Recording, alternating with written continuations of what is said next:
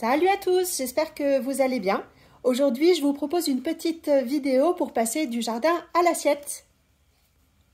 Dans le dernier short que j'ai mis en ligne, je vous montre la récolte du jour avec euh, notamment une corbeille de fleurs de capucine en vue de confectionner du pesto.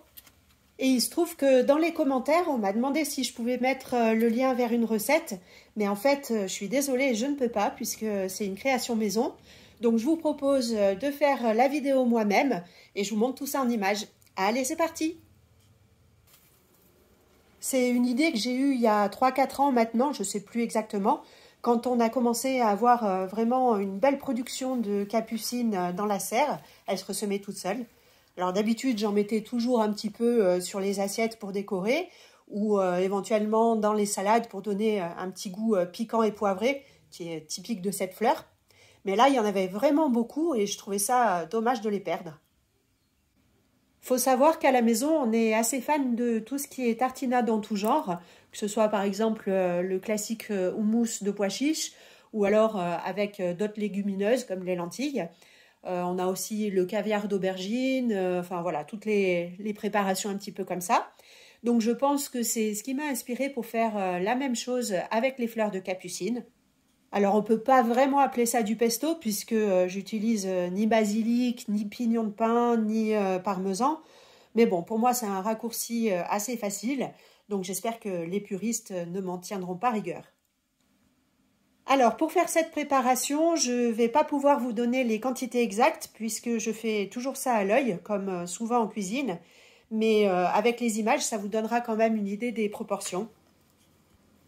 Je prends donc euh, ma récolte de fleurs que je mets euh, dans le petit bol du robot mixeur avec euh, le couteau. Je rajoute quelques noix parce qu'on adore ça, mais on pourrait tout à fait utiliser d'autres graines ou fruits oléagineux comme le tournesol, les amandes, les noisettes. Ensuite, quelques gousses d'ail celles que j'ai ici, vous voyez qu'elles ont germé. C'est euh, la fin du stock de l'année dernière. Il me reste euh, plus qu'une tête et les nouveaux ne sont pas encore récoltés. Bon, après, on peut très bien consommer l'ail avec le germe, il n'y a aucun souci, si ce n'est qu'il est encore plus chargé en soufre, donc euh, un peu plus difficile à digérer que l'ail non germé pour les personnes qui sont sensibles. Donc dans ce cas-là, on peut couper les gousses en deux et retirer la partie verte. Pour les quantités, comme je vous l'ai dit, bah, fiez-vous aux images. Moi, généralement, pour ce volume de fleurs, j'utilise euh, environ 6-7 euh, gousses d'ail quand elles sont petites, 4-5 quand euh, j'ai des plus grosses. Et puis, bien sûr, vous adaptez aussi en fonction de votre tolérance et de vos goûts. Je rajoute aussi du sel. Là aussi, c'est à adapter en fonction de chacun. Et puis, je fais une première passe au mixeur.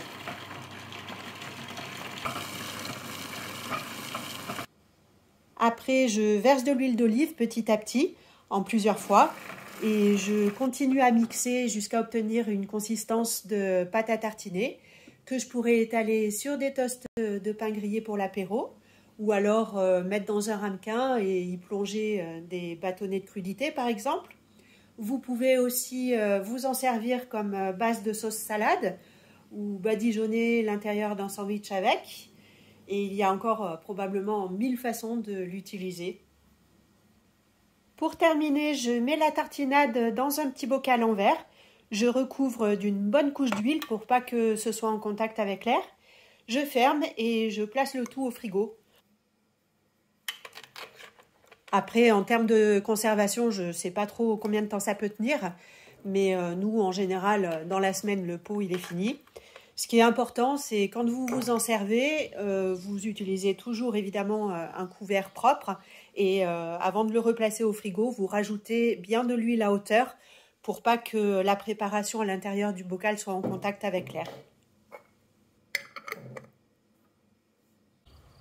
Voilà, cette vidéo est terminée. J'espère que ça vous aura donné envie de cultiver des capucines autant pour la beauté de la fleur que pour les consommer en cuisine.